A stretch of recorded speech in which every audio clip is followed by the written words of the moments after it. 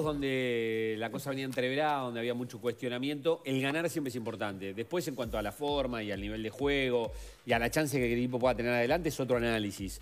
Creo que bueno, fue un partido donde se vio un poquito un cambio de actitud de Uruguay, sobre todo en el arranque del partido. Hubo mucho cambio de vuelta en la formación, cinco variantes. Este, Gularte fue el capitán del equipo.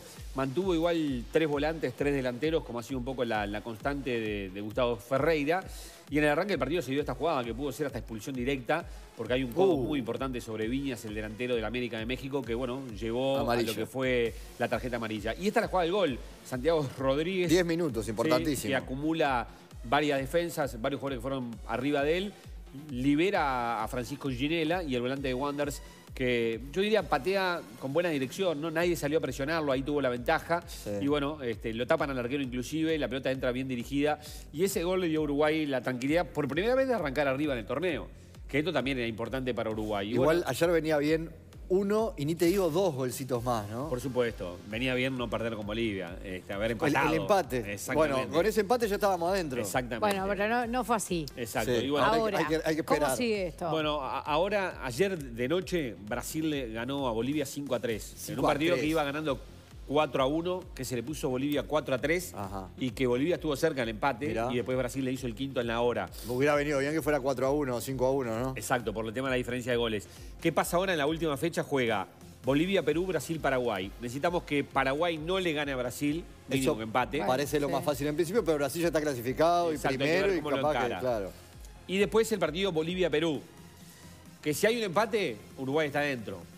Si se da también que no gane Paraguay. El peor escenario que gane Perú no Si estamos Perú, estamos afuera. Si gana Perú, estamos afuera. Si gana Bolivia, que solo haga un gol. O sea, no sirve que Bolivia haga dos. perdón, que solo gane por un gol, ¿no? No. Sí, porque vos... igual y después el tema de los goles No, no, porque tenés tres de diferencia. Ellos tienen menos eh, tres y vos tenés menos uno. Entonces, si Bolivia gana por uno, 1 a 0 clasificás. Si gana 2-1, 3-2, 4-3, 5-4, siempre clasificás. no aumenta la diferencia. Y si, nos, gana por, si gana por dos, para afuera. Vos sabés que ahí no lo tengo sí, claro. Bolivia tiene nueve, goles en contra. No, pero te digo los goles a favor. Seis a favor. Y Uruguay tiene tres y cuatro. Tiene menos uno y Bolivia tiene menos tres. O sea que si hace dos goles nos deja fuera, pero si gana por uno. a, mí lo que me. la matemática calculadora para la matemática de, algo que tenemos que volver otra vez a, a la calculadora, pero. Sí, claro. Este, es así. Si Bolivia gana por un gol, clasifica Uruguay. No, eso está claro. Si, Bolivia gana por me un gol. en el liceo. Sí, clasifica Uruguay. De, lo contrario, bueno, este, ganando por diferencia de gol. Ojo que Bolivia ha jugado muy bien. Yo digo que mm. nosotros cuestionamos mucho lo que fue la derrota de Uruguay. Pero eso no sirve ahora. Porque, juega bien, Pero ¿eh? no sirve porque lo que, lo que no queremos es que gane Perú. Te sirve si no le gana 2 a 0. Si te gana 2 a 0. Si no golea. Eh, después estará, a ver, si Uruguay llega a avanzar la semana que viene, jugás tres partidos y ahí te jugás la clasificación a los Juegos Olímpicos. Eh, que vas a jugar con Argentina, con Argentina, con Brasil y Chile o Colombia. Mm.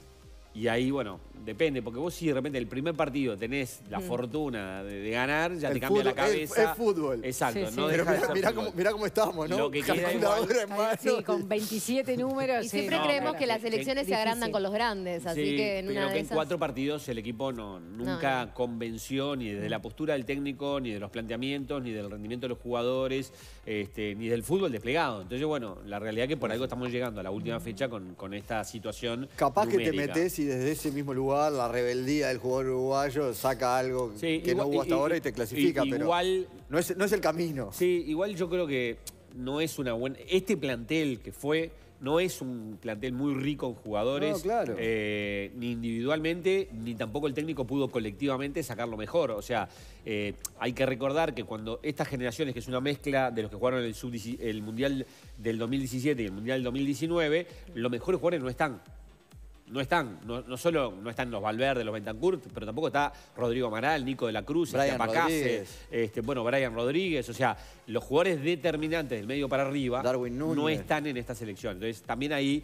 hay una sensación de, fragilidad desde el punto de vista de la elaboración de juego. Y después podemos entrar ya en un tema técnico, en un tema de preparación, en un tema de preparación, porque fuimos los últimos en arrancar, porque la calidad de preparación no fue la mejor, porque los partidos amistosos, mientras que de repente hubo países que jugaban entre países, Paraguay, por ejemplo, jugó con Venezuela, con Colombia, con Argentina, Uruguay jugaba con Canelones del Este, con Colonia, con la selección Gaulla, o sea, hubo ahí una carencia de la preparación. Peñarol que toma una determinación de no dar a Pelistri. Este, entonces, también hay una decisión eh, de Tavares de no dar jugadores que podían tener edad y jugar. Matías Viña podía jugar. Matías Viña podía jugar. Ahí tenemos un cuadrazo con todo lo que nombraste. Bueno, con Brian Rodríguez se podía haber hecho la gestión para que jugara Brian Rodríguez. ¿Por qué?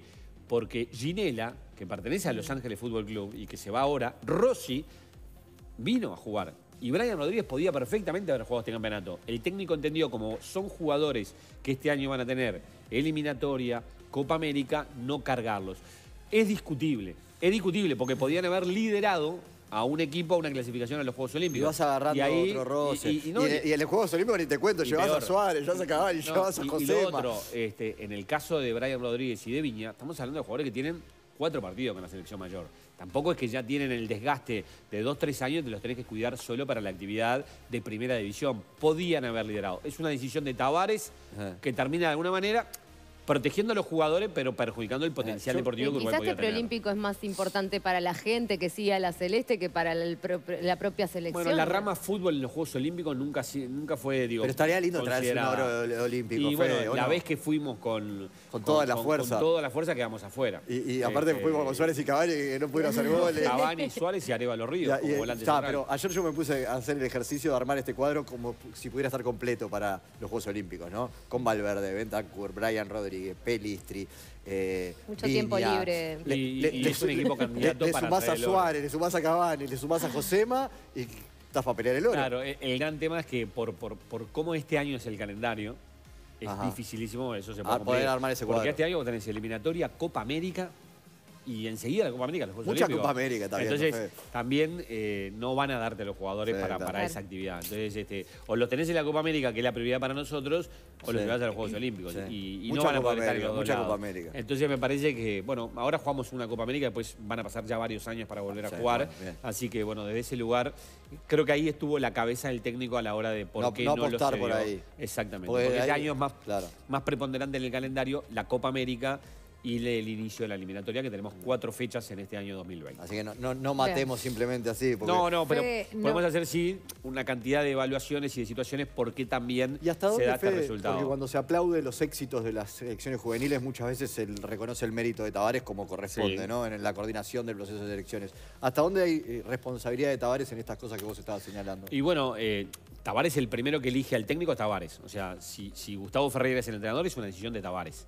Es él el que cuando se fue Fabián Coito dijo la opción es Gustavo Ferreira. O sea que ahí ya tiene toda la responsabilidad de elegir al entrenador.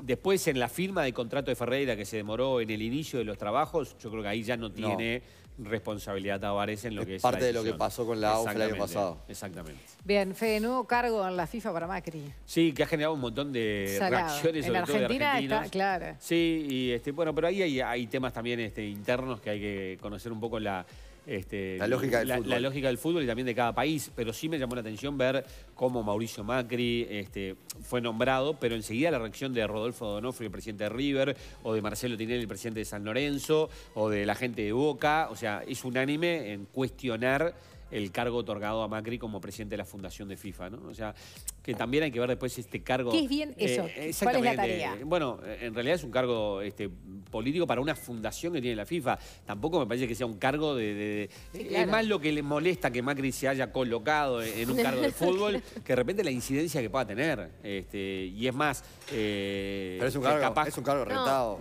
No, lo sé si y, y debe definir los destinos de, los dineros de la fundación también. Bueno, por supuesto. Ahí sos presidente de una fundación, manejás este, un montón de situaciones, de contacto de, dinero, este y, de cosas que tenés que hacer, de gestiones. Creo que lo que les molesta más que nada por la rivalidad que han tenido y por, por cómo fue también el gobierno de Macri, es en definitiva que se haya, este, que lo hayan elegido y que no le hayan consultado al, fútbol, argentino. sobre el nombramiento. Es eso Creo que eso también pasa por ahí el cuestionamiento sobre Infantino, por el hecho que lo nombraron y se enteraron después que estaba nombrado. o sea, no es que había un rumor, es que en realidad se enteraron una vez que ya el tema estaba ejecutado. ¿Y las cosas entre Infantino y la actual AFA cómo están? Normal. Normal. Me parece que tampoco Infantino anda mirando a quién elige o no elige para los cargos que él quiera otorgar. Hay mucho este, de... Hasta Maradona también, Maradona también fue otro de los que cuestionó en este momento. Pero esto, mira, depende, porque hace un tiempo Maradona sacó una foto con Macri, eran íntimos amigos, entonces ahora le putea y... Entonces uno tiene que ir este, también tomar las cosas, hay muchos las reacciones, porque hay mucho interés, depende de cómo te, hayan tratado a vos para saber si me sirve o no me sirve. Y tampoco uno puede pararse desde ese lugar a la hora del análisis de la información. Nosotros tenemos un consejo para que baje la temperatura ahí con toda esta situación. las mejores ofertas del verano están en Vía Confort. Calor, no te tenemos miedo con este ventilador. Es más fácil, tiene control remoto y tres velocidades. Llévalo por solo 1.850 pesos. Vía Confort 2507 3883. Muy bien, gracias Fede, nos vemos el viernes. Exacto, hoy juega Progreso 21 a 30 con la chance de, bueno, jugar la revancha, recordar que perdió 2 a 0 de local, parece muy difícil Juan Guayaquil contra el Barcelona. Este, Fue una fiesta ese día, faltó que en la cancha la cosa estuviera un poquito más pareja. Eh, exacto, una pena porque bueno, este, el partido arrancó medio parejo, después le sacó ventaja a Barcelona. ¿Quién te dice? ¿Quién te dice el fútbol uruguayo en lo previo no hay chance. En lo previo. Después la realidad del fúdbol. Era como venís con los resultados vos después de Bolivia y eso. ¿Y vos qué dirías vos? pero a ver, vos que sos un fenómeno. Le tengo fe a Progreso. ¿Le tenés fe? Le tengo fe. Perfecto, pero mañana si le errás, no, no, no le hacen cuatro hoy. No, yo no digo que le haga cuatro, yo digo que no clasifica. ¿Vos bueno, que clasifica? Va a estar más cerca. Va a estar cerca. No, no, va a estar cerca.